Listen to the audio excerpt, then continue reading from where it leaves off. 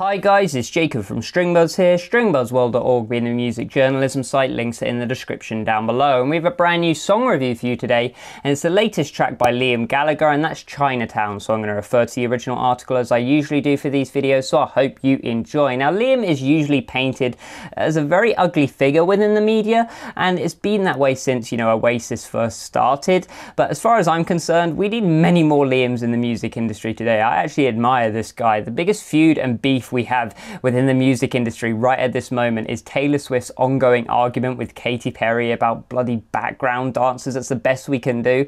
And yet Liam once said, you know, just as like an off-guarded comment, just randomly to like the NME, he said like, he reminds me of effing Right Said Fred, uh, you know, the guy who did I'm Too Sexy for My Effing Shirt and all those records. And I can bet you it, any money it's the same person. And he was talking about the singer of Franz Ferdinand when he said that never had anything to do with Franz Ferdinand, just decided to just take the mick out of him. He said a load of stuff about One Direction as well. Said he didn't look at the other people performing at Glastonbury because he was too busy watching Love Island. I've got to admire that in a figure. So anyways, let's get back onto the music. Should we see what I thought of this brand new track? Well, I thought it was pretty darn good. And actually it's one of the best vocal performances we've had in years by Liam. The chord progressions are memorable and catchy. The hook is also well refined and well executed. The song is simplistic, but in a way that doesn't gloss itself up too much, you know, remaining very pure and very concentrated throughout. And the track is just a really concentrated and professional outing for Liam, actually. Sure, I will admit that the lyrics are a little bit up and downy, I guess. You have some immensely clever lines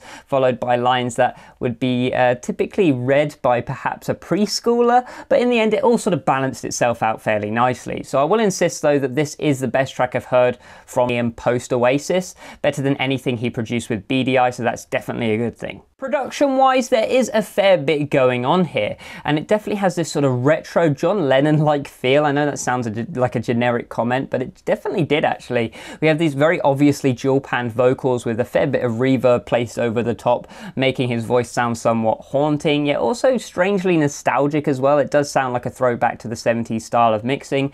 The acoustic guitar sounds absolutely gorgeous within this track, remaining completely untampered with in this mix, sounding both twangy as well as just plain mouth-watering, I guess is the best way of putting it. We have this sort of slow kick beat at the background of the mix, so that sort of fills the low ground adequately, really nicely with this pulsating, bassy sort of thump. We didn't have too much cymbal work in here, so I can't really comment on that. But anyway, the sound wall was just thick and just really juicy. There isn't much you can really complain about here, and like I said, it's just like a 70s sort of mix translated into the modern day uh, using sort of modern day equipment, and I love that approach. When it comes to the musicality of this track, it's actually fairly simple, and I think that's what makes it seem a little bit more genuine, a little bit less sort of glamorized, I guess. The fingerpick guitar is catchy, and the chord progressions are memorable and relaxing as well. The pulse of the kick drum never becomes repetitive, which is actually easier said than done, but instead adds a little bit of meat into the mix, which was sorely needed, I thought. The vocal performance is actually really strong. It's uh, sort of utilizes Liam's sort of natural tone much better than what we heard on, say, a lot of the the Eye sort of tracks. And again, there isn't too much to complain about here. Sure, the song form is a little bit too basic, but at least we've got a proper bridge this time around to break things up first time of asking, and it actually sounded wonderful too.